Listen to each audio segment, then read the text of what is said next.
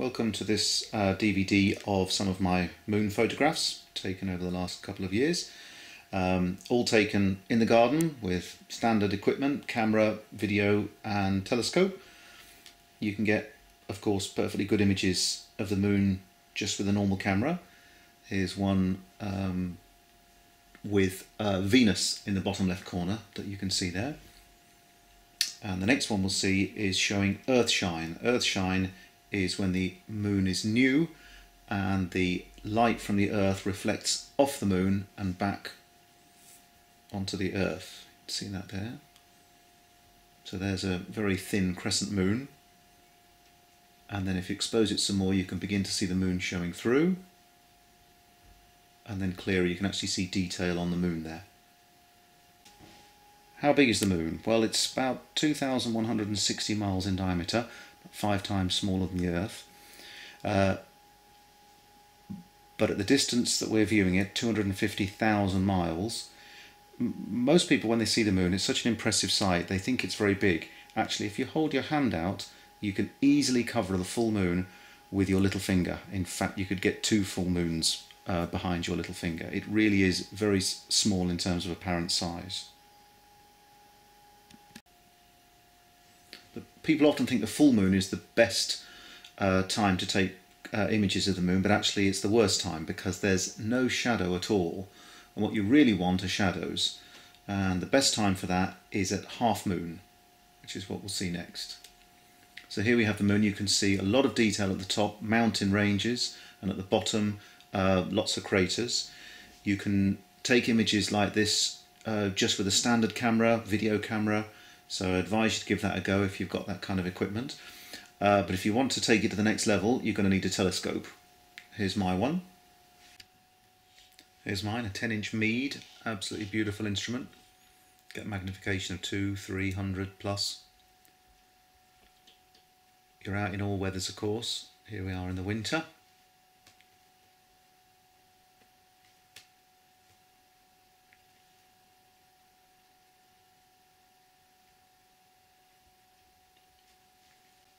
Okay, back to the half moon. This was taken with a standard camera with a long lens, a Nikon. And at the top you can see mountains.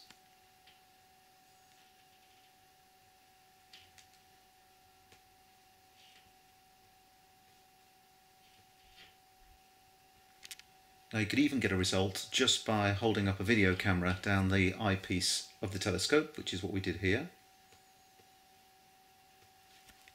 But as you can see it's not a very good result. It's wobbly, uh, which is partly to do with the handheld camera and partly because the atmosphere um, makes everything appear wobbly anyway.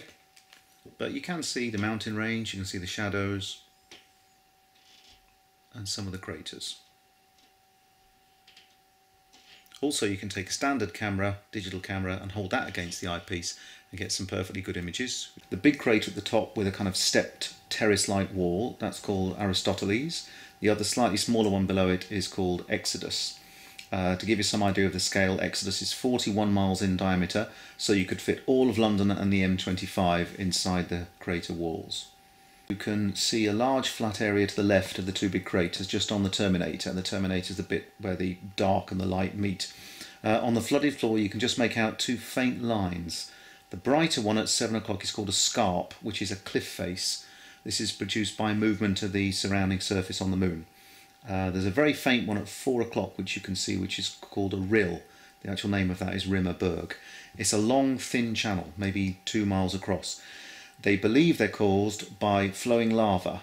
Uh, it would make a tunnel underground, then the roof would collapse, leaving a very deep, uh, sharp valley. The next one is the Sea of Serenity. It's a huge flooded area. It's flooded with lava about 3.8 billion years ago. Uh, see the beautiful wrinkled ridge running down on the left side. It's called the Serpentine Ridge. Halfway down the ridge, you can just make out a tiny crater at the top. That's about two and a half miles in diameter. Uh, the big crater on the Terminator is called Posidonius, and you can just see the peak of its mountain catching the sun. So back to show you the um, complete moon again, and then we're going to finally focus in on these three amazing craters together Uh, the huge crater in the centre is called Theophilus. It's one of the most impressive on the moon. It's 62 miles in diameter and the ridge of the crater wall rises about 3,900 feet above the neighbouring landscape. Uh, it overlaps on another crater called Cyrillus, which is another huge crater, and you can see three mountains at the centre. The third crater is called Catharina, and all three you can easily see with binoculars at the right time. And then below the three of those craters is a scarp, which is called Rupes Altai. Uh, you can see the shadows cast by the cliff face, which is what a scarp is. So that's basically a 290 mile cliff running along the moon. And you may recognise those craters on the scarp because they're on the 4AOS card and on the website as well. To get better images than this, you need to do more than just take a photograph down the eyepiece. You have to attach, um, it's basically like a webcam.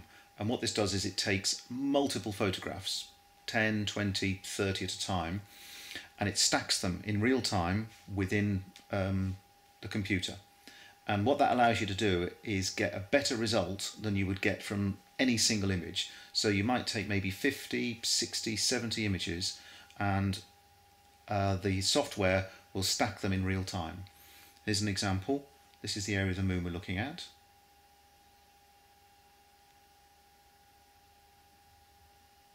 And then this is several images stacked together. So this is a composite strip of four or five different images and each of those images will be made up of maybe 100 or 150 separate images stacked to make one sharp image. The interesting one here is you can see the, the, the mare, the sea, has flowed across, the lava has flowed into the crater below it, breaking down the wall. Okay, another section of the moon. Right on the edge. You can see the craters are elongated because they're approaching the edge of the moon as we're looking at it uh, and you can see the individual craters named and it's always interesting to see how small a crater that you can actually image and there's an example of quite a small one called Oersted.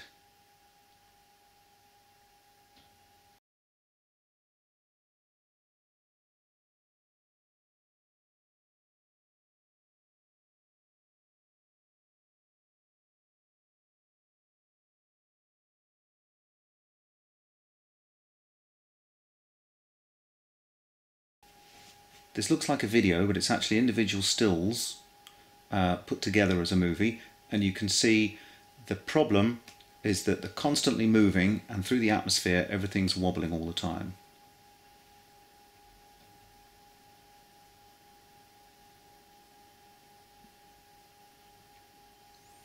And if we stack hundreds of those images together, we get a much sharper image like this one here.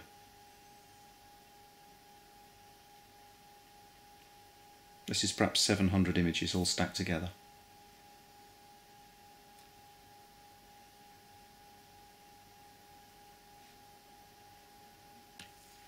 Clavius itself is the third largest crater on the moon. It's 140 miles across and it's got dozens of little tiny craters on its floor uh, and it's always a challenge to see which is the smallest crater you can see. The one in blue is called Dulac W. It's about four miles wide, and there's a smaller one to the left, which is around two miles across, which is getting towards the limit of what's possible with this kind of equipment.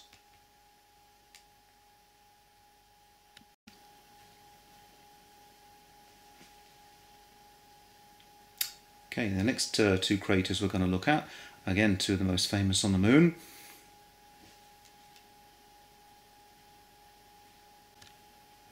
The small one is called Eratosthenes, and then the very large one to the left is called Copernicus.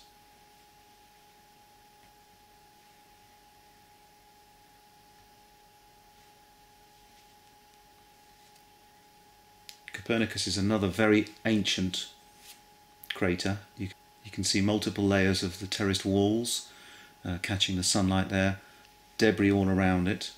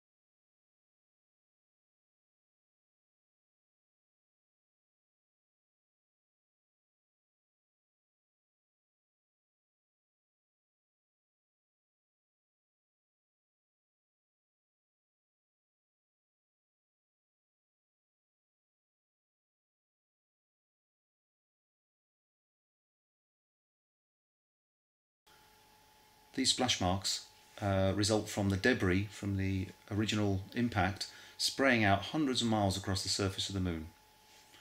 And in the corner there you can see a very tiny crater just a couple of miles across. There's something else interesting near Copernicus. This was taken a day or two later when it was completely filled with sunlight. But in the corner here, we have the Hortensius dome field.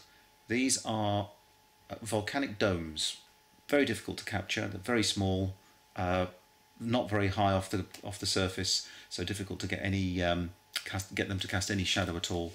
But managed to capture the three of them there in a line.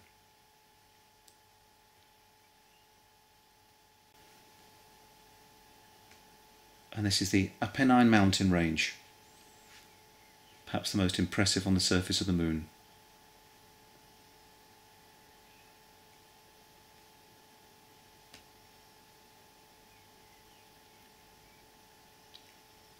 Zooming in, you can see where Apollo 15 landed, and in the corner we have Rima Bradley, another one of these collapsed tubes.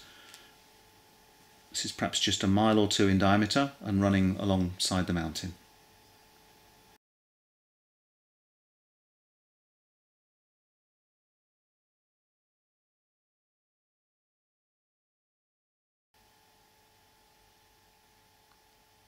And here we have the Lunar Alps. You can see the valley at the top, 130 kilometers long, perhaps five miles wide. And then you see my favourite feature on the moon. And there's Piton, my favourite feature on the moon. Triangular shaped mountain rising up from the flat lava fields around it.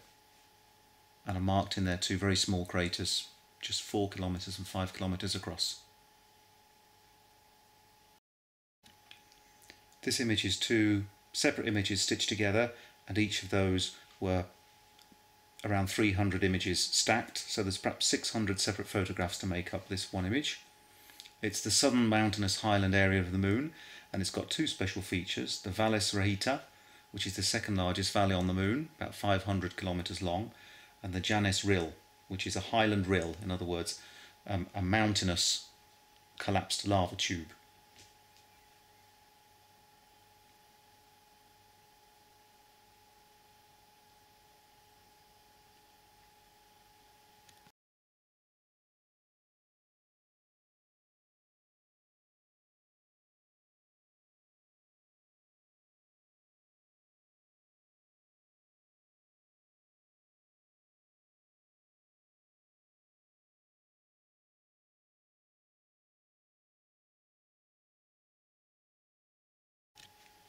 The main crater here is about 177 kilometres wide, with double terraced walls, and it looks elongated again because it's near the limb of the moon. Uh, the smallest crater is only about 10 kilometres here because the seeing was quite poor, was quite, um, the atmosphere was, was uh, quite wobbly. You could just make out there the rill, Rima Petavius, which is like a long thin scratch inside Petavius.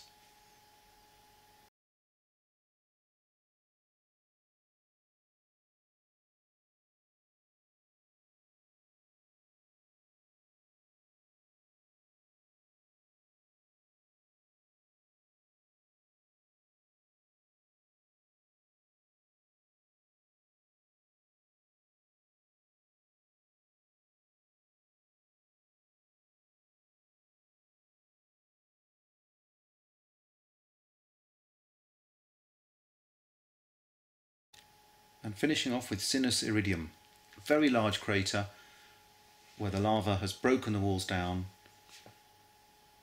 and you can just make out where the walls would have been.